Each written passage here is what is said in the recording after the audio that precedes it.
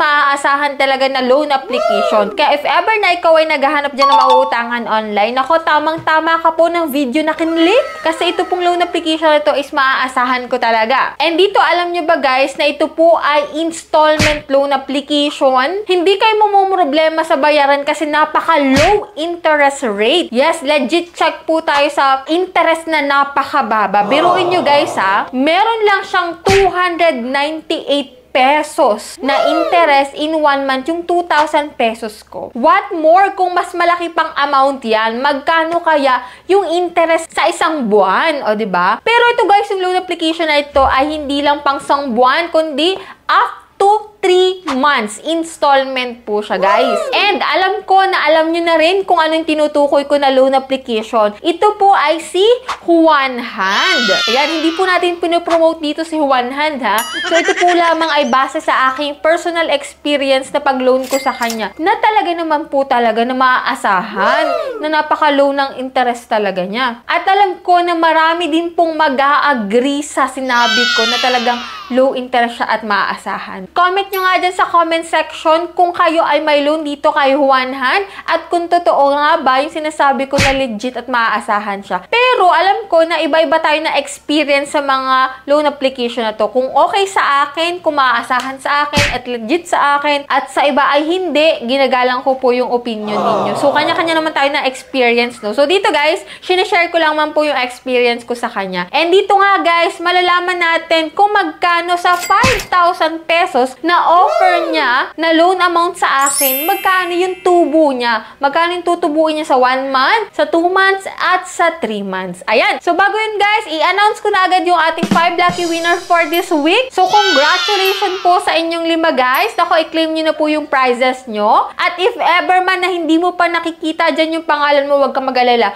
May next Monday pa. Kaya stay connected, stay active, and for those na hindi pa alam ang mechanics sa pagsali dito sa aking Panjikash giveaway, giveaway, i-click mo lang po yung subscribe button, ilalike itong video na to at mag-iiwan ka ng comment dyan sa comment section. Every Monday po yung ating announcement ng 5 lucky winners ha, and every last Monday of the month naman po, may mananalo ng pa-cellphone giveaway. O diba? Dito manunod ka lang ng mga pwede mong utangan online, may chance ka pa na manalo sa pa-Gcash at pa-cellphone giveaway. So wag na nating patagalin pa. Gusto ko nang ipakita sa inyo kung magkano yung interest na idadagdag ni Juan Hand para sa 5,000 pesos. So, keep on watching, guys.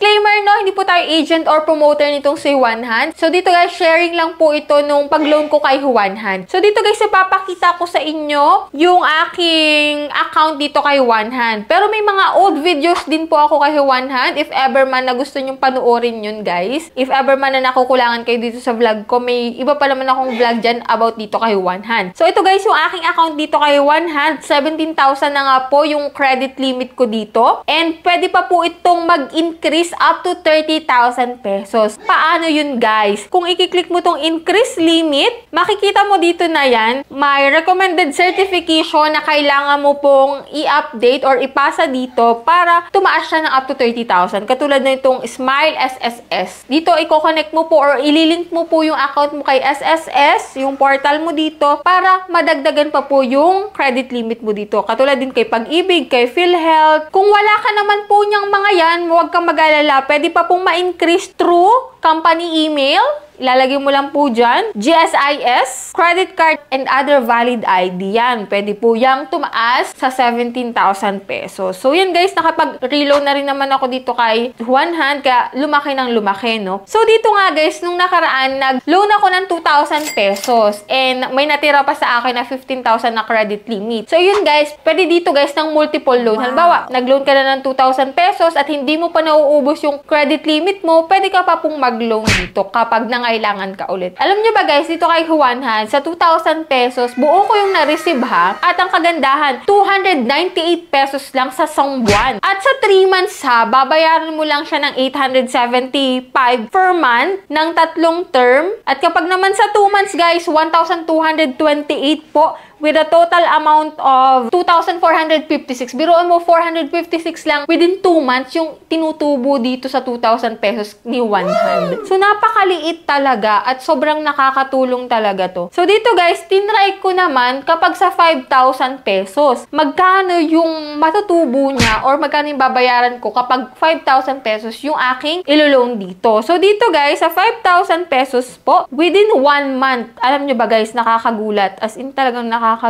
Kasi po sa 5,000 pesos ko, 745 lang po yung tutubuin one hand. Buo ko pa siyang marireceive, ta 745 lang after 1 month yung idadagdag ko. Napakaliit talaga. And then dito sa 2 months guys, bale, ang una kong babayaran guys is 3,070 pesos. Ikalawa, ganun din. With a total amount of 6,140 pesos. So, ang kabuuan pong idinagdag sa 2 months na interest is 1,140 pesos sa 5,000 na loan amount. Sa 3 months naman po guys, napakaganda talaga, no? Napaka magaan sa bulsa kapag bayaran na. Hindi ka mag-worry kung saan ka kukuha ng perang pambayad. So, dito guys, sa 3 months, 2,187 po per month yung babayaran ko. Na may kabuuan siyang babayaran ko na 6,560 pesos. 1,560 lang po yung kanyang idinagdag na interest sa 5,000 within 3 months. Biro mo 3 months yun guys. Ah. So kung ito ay sa ibang na loan application, yung 1,500 pang 7 days lang.